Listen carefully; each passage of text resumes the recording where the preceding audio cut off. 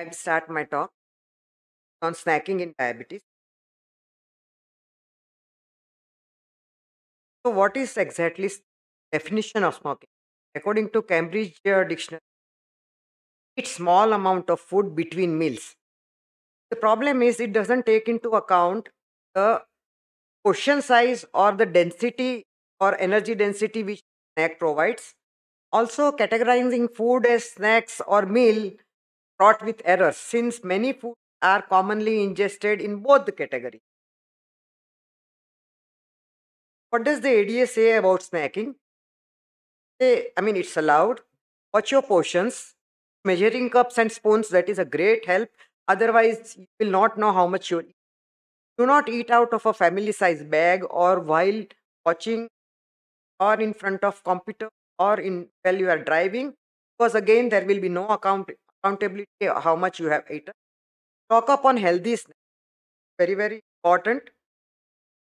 So, uh, for that, they have some guidelines like lower in carbohydrate, which is less than 5 grams. There are certain things which are recommended, like three fourth cup of a light popcorn, or so low five baby carrots or five cherry tomatoes. I mean, those who want to snack, I'm sure it is going to be very difficult to follow this guideline. Similarly, other good snacks where the carbohydrate amount is 15 20 grams. The small apple or cups of light popcorn, uh, hummus, or a small sandwich, uh, half a uh, half a sandwich, or you can have a peanut butter sandwich, or one cup of dried fruit, half a cup, I mean one fourth cup of dried fruit and nut mix, or one cup of soup. So this is less an amount, but as it is, uh, we saw that it between the meals. If you're feeling very hungry, are the things that you should take, or the patients of diabetes take. 30 grams carb snack ideas, which contains 100 to 150 calories. One apple and orange, or a fruit and nut mix bar, or grapes. And zero carb snack ideas, are under 150 calorie, but they don't contain carbs. That is an e- uh, one hard boiled eggs, some uh, uh, vegetables, or a cheese that can be included. Uh, we also know that sweets are not totally prohibited uh, in diabetes. So 15 grams carbs or 13 gram carbs. You can even have five Hershey's or three Skechers or five vanilla wafers, which are which amount to 15 grams carbs. Or in 30 grams, you can have a half a cup of pudding or crackers, etc. Or even half a cup of ice cream. That is a good news for diabetics.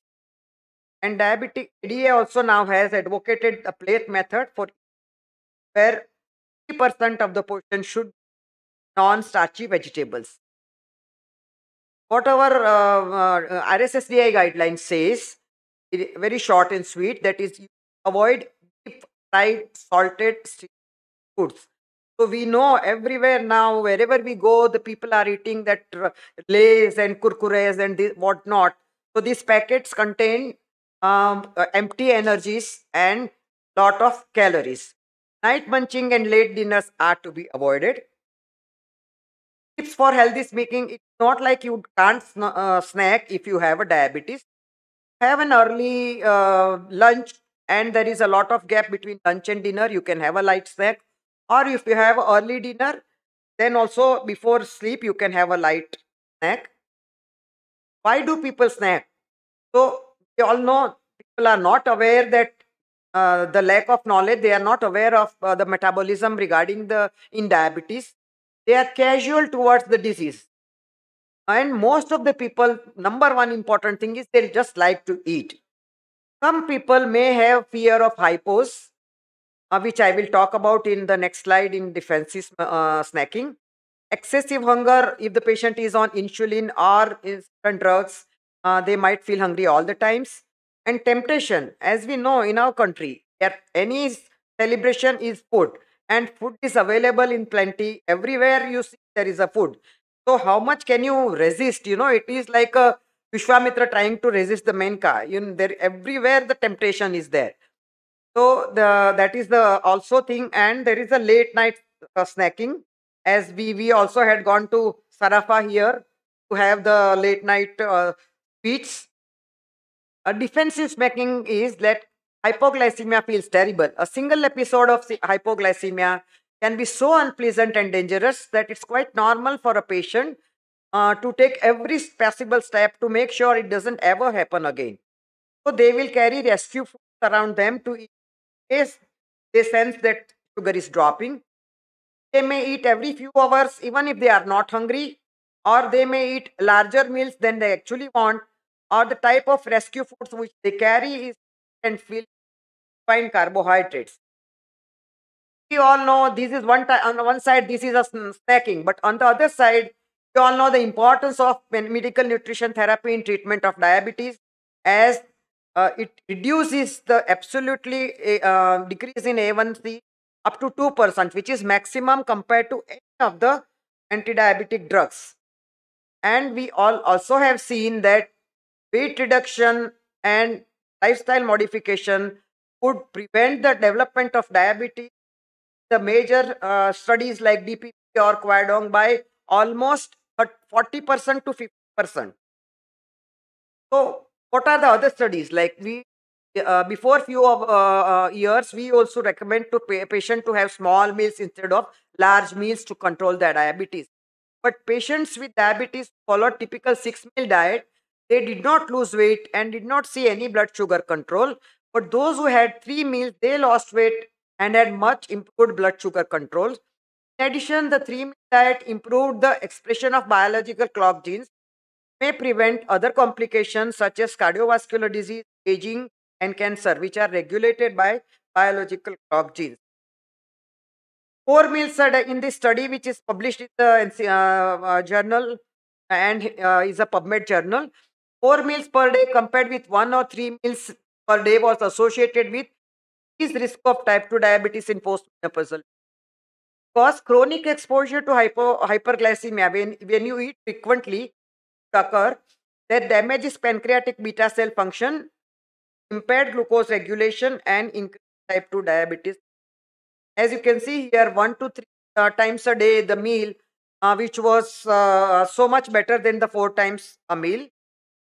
Patient who reported four daily uh, uh, portions had 36% increased risk of incident diabetes compared to those with one and one to three uh, eating occasion was more in BMI uh, when with less than 30. This I have already mentioned. And also nowadays published uh, in this journal that eating a day more effective than six meals a day. What about quality of life in diabetics? As you know, people uh, with diabetes, their quality of life is lower, and they also demonstrate that free, uh, freedom to eat and drink is an important factor which can increase the quality of life uh, uh, in people with type 2 type 1 and type 2 diabetes. Snacking is common in in the studies published both type 1 and type 2 diabetes but it was not associated with metabolic control or quality of life. And it showed that all patients like either on insulin biphasic or prandial they eat and they like to eat and it's not because of the healthcare recommendation and major reasons were increased hunger, social reason out of habit, recommendation uh, by healthcare worker is less common. Other reasons are more common.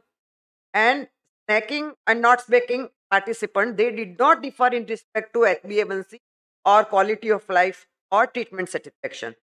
Snacking seems a common habit in diabetes.